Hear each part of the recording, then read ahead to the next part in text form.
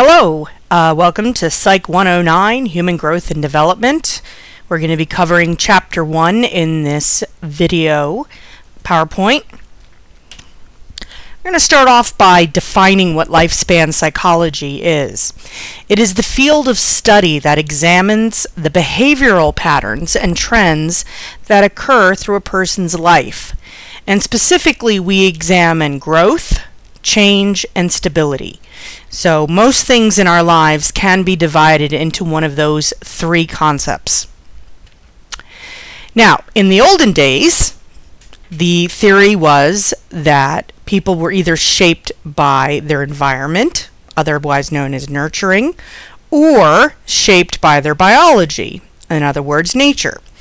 And this battle between nature and nurture uh, was seen as the only two options. Now, more recently, people have become to understand that our personalities, who we are as people, are a product of both nature and nurture. So instead of an or, it's an and. So the new idea, which is nature plus nurture, equals the biopsychosocial model.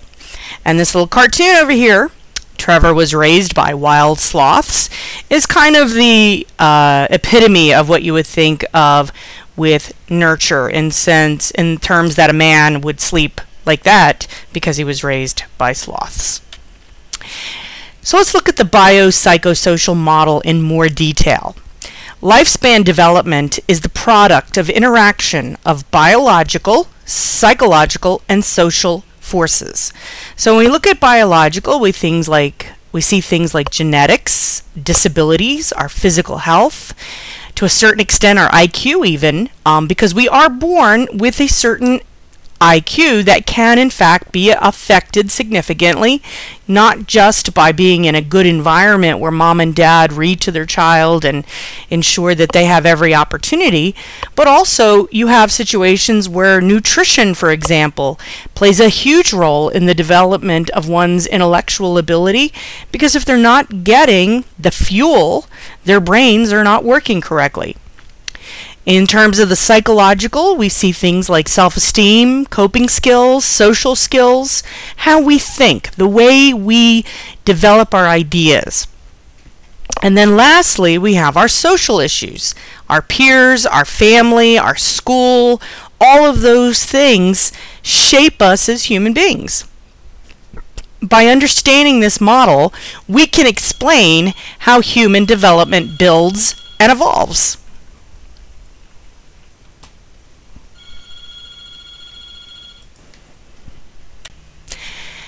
So when we look at the biological, again, genes, hormones, healthcare, psychological forces, our personality and our cognition, and our social forces, all three of these things create you, which means that everyone is unique in the sense that no one really has exactly the exact same biology, the exact same psychology, nor the exact same social influence. Even people who grow up in the same family oftentimes can be very different. For example, being the firstborn in a family is going to have a much different experience than being the middle child or the baby of the family. And so, for example, firstborns tend to be more independent, babies tend to be more dependent. The middle children tend to um, be more social because they're looking for attention. And as a consequence to all of these, even if somebody has the same parents, grew up in the same house, their experiences could be potentially very different. So, what is the purpose of lifespan psychology? We study it to offer an organized account of development across the lifespan to identify the interconnections between earlier and later events. So what we're really looking at are the transitions that we celebrate in our lives, and we usually do this with rites of passage. When a baby is born, and they are born to a Christian um, household, they are baptized. Jewish kids go through a bar or bat mitzvah Jewish or uh, Catholic children are confirmed at age 14. And then the vast majority of people in this country get married. And of course, everyone at some point dies, and there is some sort of celebratory goodbye or funeral. And it is very different from culture to culture, but there seems to be this um, consistent need to mark these rites of passage. We also look at lifespan psychology to account for the mechanisms responsible for lifespan development. So, for example, research shows that what happened at a young age affects a person later on, often crossing into other areas. So, some of the more recent research that has been done um, attractive young people generally develop good self esteem, giving them better self esteem than the general public as they get to be older adults. Um, another very well known research study shows that children who are abused are more likely to abuse children as adults. It doesn't mean that it's definitely going to happen, but they are more likely. And then we also look at how the biological, psycho psychological, and social factors shape an individual's development. When we look at lifespan development, it gives us an opportunity to isolate one particular element and see how that affects their development overall.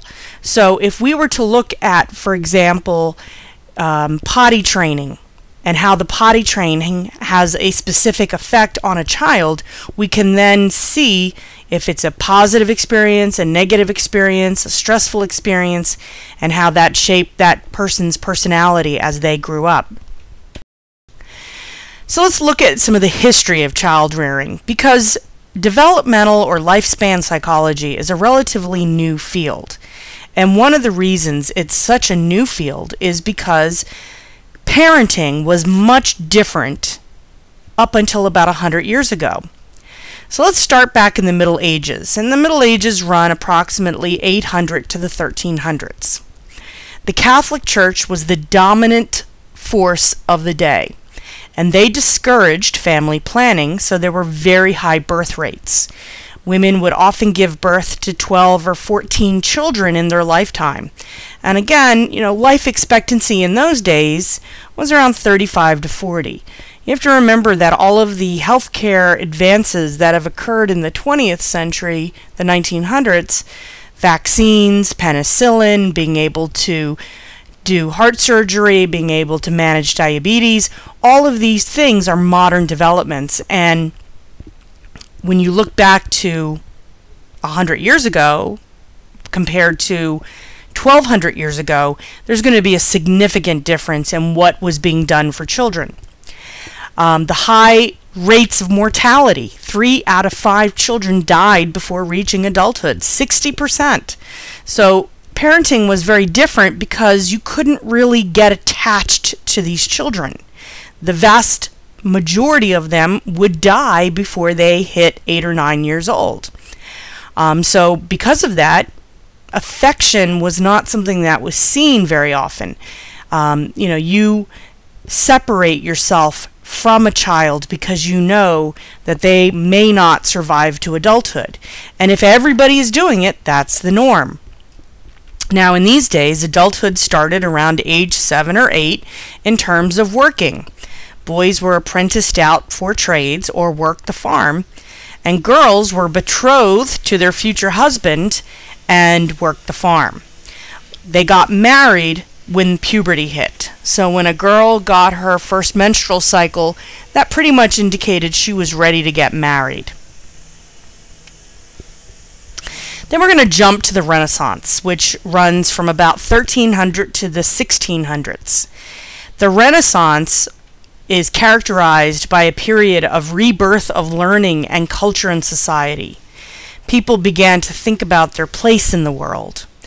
As they did this, people began to see themselves as individuals, and they also began to see their children as individuals with rights.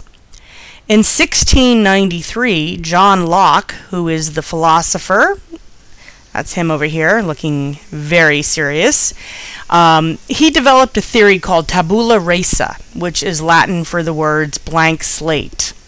And what he said was that our brains are empty at birth, like a bucket, waiting to be filled with everything that we experience at home, at school, in the job, and essentially we are products of our social environment. And this in turn gave parents and teachers the understanding that they can control the child's experiences by what they write or add to that quote unquote blank slate. Parents and family members therefore have the ability to shape the personality of their child. This was the first time that childhood was seen as a developmental stage.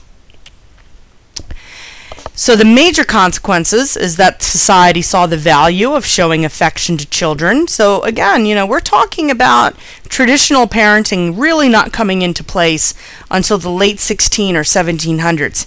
And even then, it wasn't like it is today. This is all very important because this represented the first time it was recognized that childhood was a separate developmental phase. Then we're going to jump to the industrial age. And this runs from the late 1700s to the late 1800s. This was the rise of the age of machinery. People were moving from rural areas to cities because jobs were available in the cities. Urbanization changed the world from a barter economy where you were going to trade the um, sheep wool that you sheared that morning for food or for a new horseshoe. Instead, now you're going to a cash economy. Children were seen as an economic asset and they were put to work in factories to help support the family when they were about seven years old.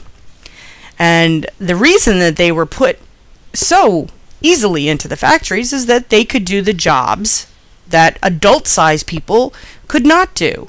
So, for example, you'll see a picture up here, and you have the young boys standing on the actual loom. This is a fabric loom creating um, swatches of fabric. And they would clear the loom as it came back and forth because of their size. They could stand on the machinery and uh, work the clearing section. Here's a picture of young children who were working at the end of the 1800s. And then this is my particular favorite is a young girl pulling a bucket filled with coal through a small shaft. Um, that clearly would have been very difficult for an adult to do. Then we're going to go to the beginning of the 1900s. End of the 1800s, beginning of the 1900s, we call this the modern age. And this is when the wives of factory owners and social rights crusaders were able to enact child labor laws. These child labor laws went into effect in the late 19th century, and they basically said that children under the age of 16 could not work in factories. And to this age, to this day, if you want your child to work on your farm, that's fine, but they cannot work in a factory until they're at least 16. Now, what happens when all of a sudden all these kids are pushed out of the factories and have nothing to do?